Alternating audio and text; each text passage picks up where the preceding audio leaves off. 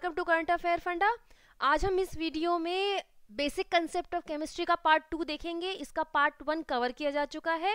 इस वीडियो को शुरू करने से पहले, जैसे कि आप देख रहे हैं कि नीचे आपको सब्सक्रिप्शन का एक ऑप्शन दिखाई दे रहा है तो आप अगर हमारा वीडियो पहली बार देख रहे हैं तो please please subscribe our channel आप इस वीडियो को लाइक कर सकते हैं, इस वीडियो को शेयर कर सकते हैं, साथ में इस वीडियो पर आप कमेंट भी दे सकते हैं।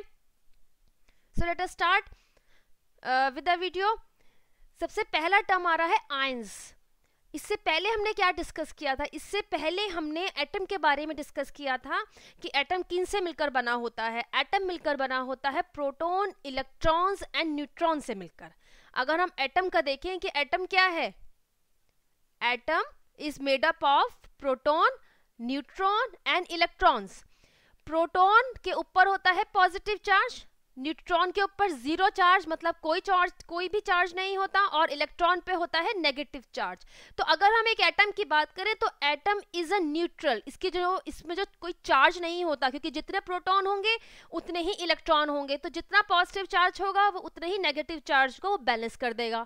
न्यूट्रॉन के ऊपर कोई चार्ज नहीं होता. सो so, देयरफॉर अगर एक एटम के बारे में देखें तो वो एक न्यूट्रल होता है. उसके ऊपर कोई चार्ज नहीं होता. अब आयंस क्या होते हैं? ये आयंस की फॉर्मेशन कैसे होती है?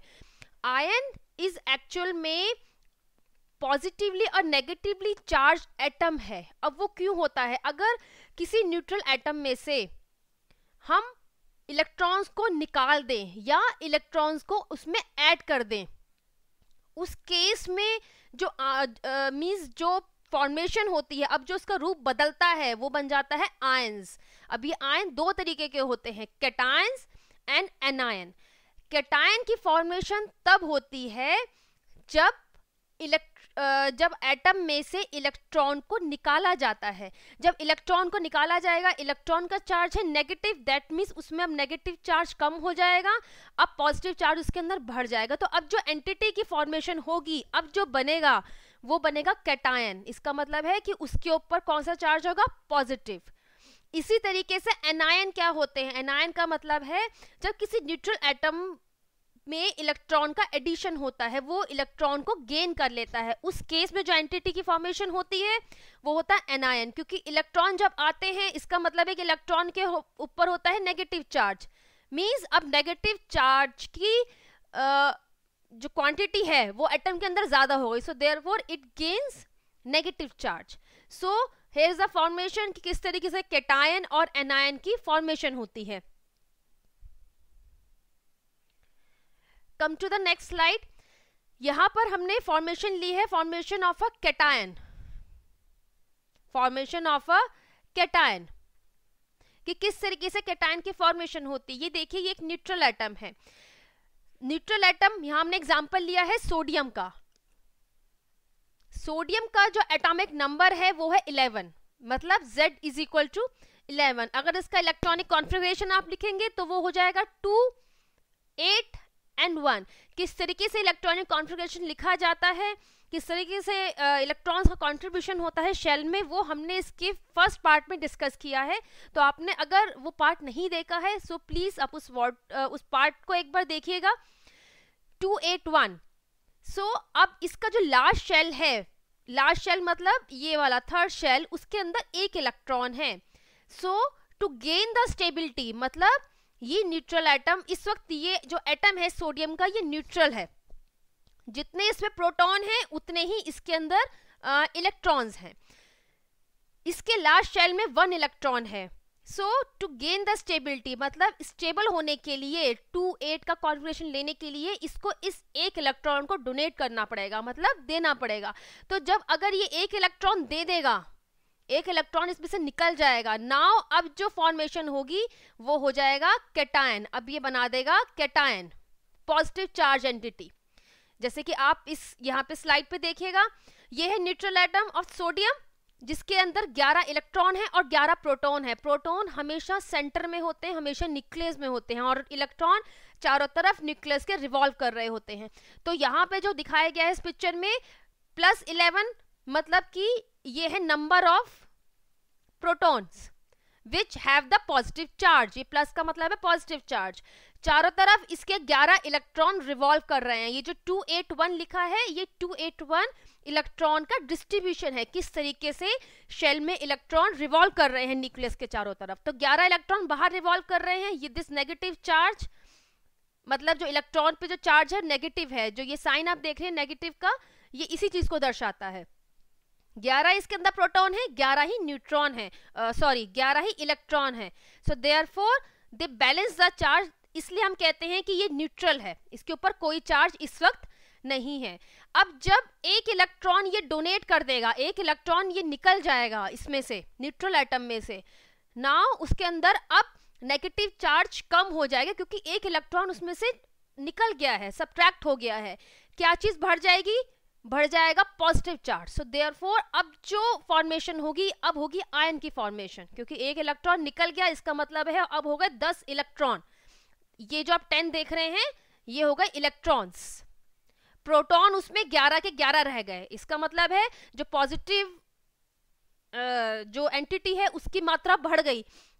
ये हो गई कैटाइन की formation which have the positive charge so sodium ion मतलब Na प्लस की फॉर्मेशन जिसमें होते हैं 11 प्रोटॉन और 10 इलेक्ट्रॉन कैटायन का जो साइज़ होता है, हमेशा न्यूट्रल एटम से कम होता है। Cation has smaller size smaller size than neutral atom क्योंकि उसमें से एक इलेक्ट्रॉन का निकलना है मतलब एक इलेक्ट्रॉन उसमें से निकल गया है।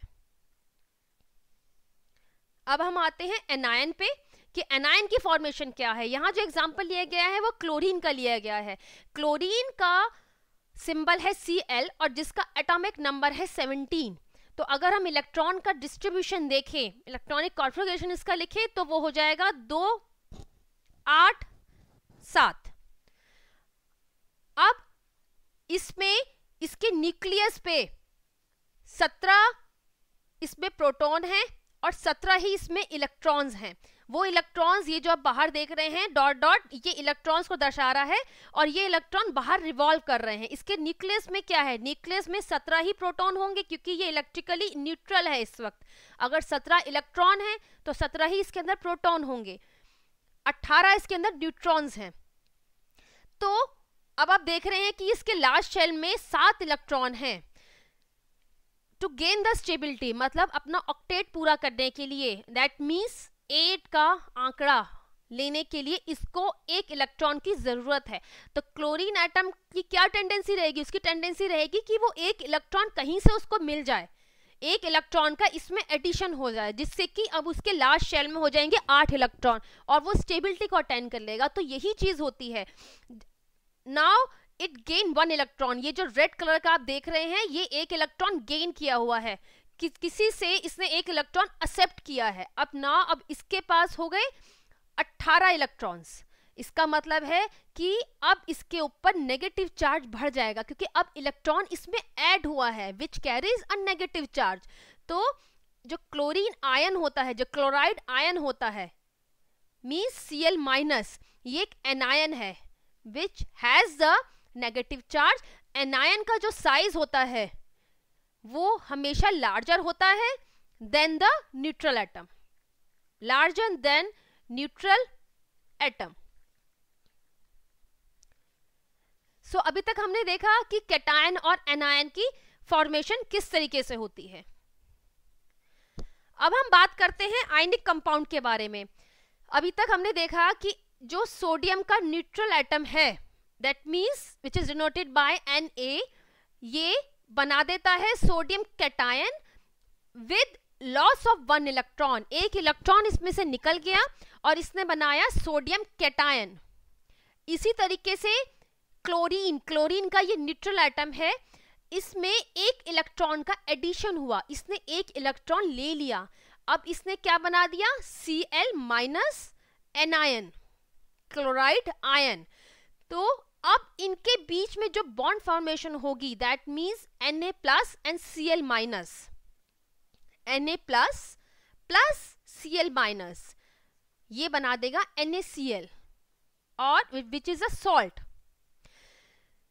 ये जो एन ए सी एल है, ये एक आयनिक कंपाउंड है, क्योंकि इनके बीच का आप देखिए, ये Na प्लस मतलब केटायन और एनायन इनके बीच का जो इलेक्ट्रोस्टैटिक अट्रैक्शन है, उसकी वजह से ये बॉन्ड फॉर्मेशन हुई है। नाउ ये Na प्लस और Cl माइनस ने मिलकर बनाया NaCl ये जो कंपाउंड है, इस कंपाउंड को अब जो बना, उसको कहते हैं आयनिक कंपाउंड और ये जो बॉन्ड है इनके बीच में, उसको कहते हैं आयनिक बॉन्ड इनके बीच का जो बॉन्ड है, उसको आयनिक बॉन्ड कहा जाता है। इसी तरीके से हम एग्ज़ाम्पल ले सकते हैं केसीएल का। केसीएल के अंदर भी सेम केस है। सो ये जो के सिंबल है, ये पोटेशियम का सिंबल है। इसने एक इलेक्ट्रॉन दे दिया तो therefore it form the potassium ion with loss of one electron CL का सेम रहेगा सीएल क्लोरीन एक इलेक्ट्रॉन ले लेगा और ये फॉर्म करेगा क्लोराइड आयन अब जो बॉन्ड फॉर्मेशन होगी, वो K plus and C L minus के बीच में होगी। It forms the bond K plus plus C L minus ये बना देगा K C L L is also ionic compound. ये भी एक आयनिक कंपाउंड है। इनके बीच का जो बॉन्ड है, वो आयनिक बॉन्ड है। Writing of formula of molecular compound जब हम मॉलिकुलर कंपाउंड की बात करते हैं कि किस तरीके से हम इसका फॉर्मूला लिख सकते हैं। यहाँ पे एक क्वेश्चन के फॉर्म में हमें कुछ एग्जाम्पल्स हैं जिसको हम सॉल्व करेंगे और उसके बेस पे इसको देखने की कोशिश करेंगे। The valency of carbon is four. जब भी हम वैलेंसी की बात करते हैं कि वैलेंसी टर्म का मतलब क्या होता है एक्चुअल में, जो लास्ट शेल होता है, वो होता है वैलेंस शेल जैसे कार्बन के केस में देखा जाए तो कार्बन का जो एटॉमिक नंबर है, वो है सिक्स इसका इलेक्ट्रॉनिक कॉन्फ़िगरेशन आप लिखें तो वो हो जाएगा टू फोर इसका जो लास्ट शेल है दैट मीन जो सेकंड शेल है कार्बन के केस में, वो इसका वैलेंस शेल है। इसमें जो इलेक्ट्रॉन प्रेजेंट हैं, उनको वैलेंस इलेक्ट्रॉन कहते हैं। लेकिन what about the valency valency term का मतलब क्या होता है? वैलेंसी टर्म का मतलब होता है कि इस लास्ट शेल में ऑक्टेट को पूरा करने के लिए मतलब स्टेबिलिटी को गेन करने के लिए जितने इलेक्ट्रॉन की देनदारी या लेनदारी होती है, जितने इलेक्ट्रॉन दिए जाते हैं या लिए जाते हैं, उनको हम वैलेंसी कहते हैं। अब जैसे कार्बन के केस में देखिए, अब टू और फोर है। लास्ट शेल में फोर इलेक्ट्रॉन है। अपना ऑक्टेट पूरा करने के लिए इसको फोर इलेक्ट्रॉन की नीड और है। या तो ये चार इलेक्ट्रॉन की साझेदारी कर ले या चार इलेक्ट्रॉन ही दे दे। इस केस में चार इलेक्ट्रॉन की साझेदारी करना इसके लिए फ़ायदेमंद रहेगा एनर्जी वाइज मतलब एनर्जी के कंसेप्ट में देखा जाए तो ये चार इलेक्ट्रॉन को डोनेट करने से अच्छा है कि वो चार इलेक्ट्रॉन की शेयरिंग कर ले। सो देयरफॉर मोस्टली जो कार्बन फॉर्म करता है वो कोवलेंट कंपाउंड फॉर्म करता है जिसको हम आने वाले वीडियो में डिस्कस करेंगे कि कोवलेंट कंपाउंड्स क्या होते हैं जहाँ पे शेयरिंग होती है इलेक्ट्रॉन्स की। यहाँ पर यहाँ जो इसको हम बताना चाह रहे हैं वो है valency so therefore carbon is tetravalent क्यों? क्योंकि इसको चार इलेक्ट्रॉन्स का लेनदारी है या देनदारी है साझेदारी है। मतलब जो इन्वॉल्वमेंट है इलेक्ट्रॉन की वो चार इलेक्ट्रॉन की इन्वॉल्वमेंट है केमिकल रिएक्शन में। सो so, इसकी वैलेंसी हो गई।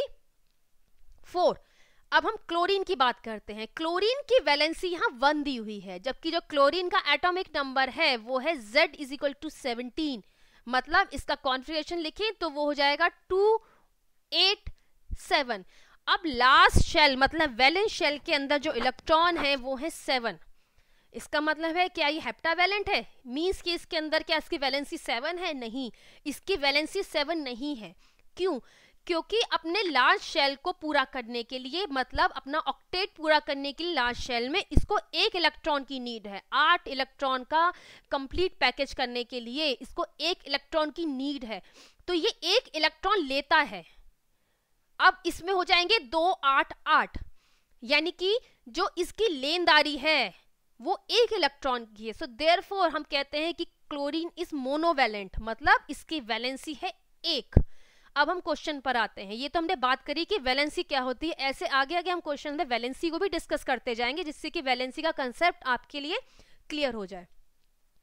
The valency of carbon is four and that of chlorine is one what will be the formula of the compound अब हम कंपाउंड का फॉर्मूला किस तरीके से लिखेंगे?